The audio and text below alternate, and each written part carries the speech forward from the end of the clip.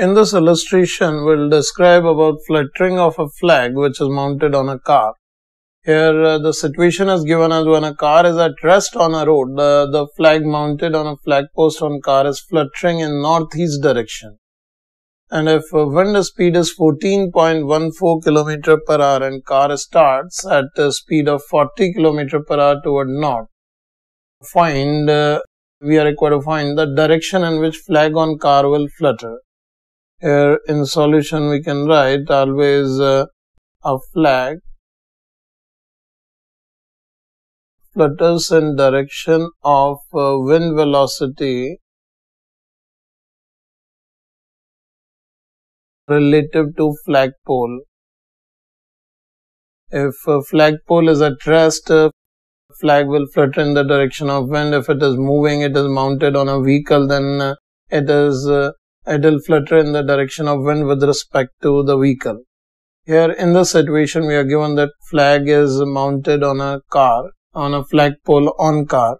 So in this situation if we just have a look on the situation, if uh, this is the direction east, north, west and south, we are given that the flag uh, which is mounted on a car is fluttering in northeast direction. That means this is the direction of wind because it is the direction which flag is fluttering when car is at rest.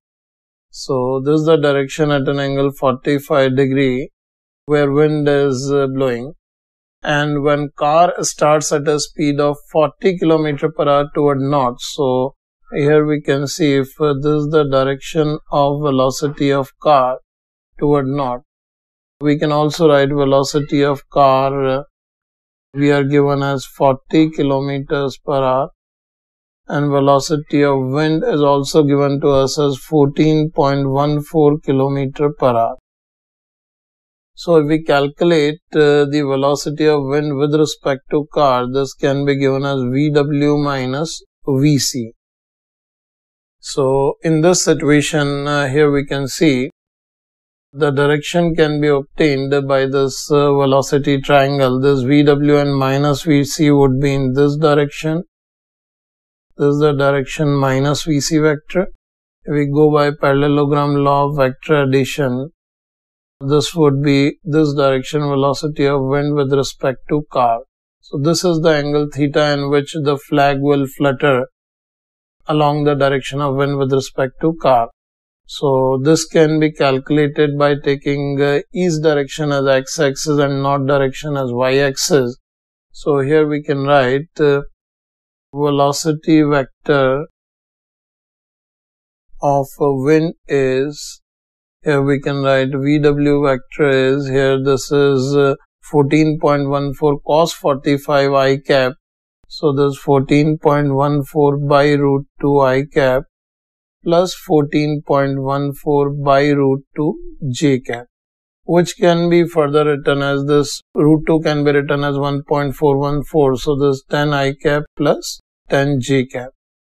And velocity of car uh, which is traveling due north. So here we can write velocity of car is 40 j cap. Both are in kilometers per hour and here if we calculate the velocity of wind with respect to car on substituting the values the wind velocity is 10 i cap plus 10 j cap minus 40 j cap. So this is 10 i cap minus 30 j cap. So in this situation uh, for the velocity of wind with respect to car its x component is 10 and y component is minus 30 so here uh, in vector diagram shown we use directly you can get the value of theta which is tan inverse of uh, this uh, 30 by 10 which is equals to tan inverse of 3 that is the final result of the problem. The direction in which the flag will flutter which is the direction of velocity of wind with respect to car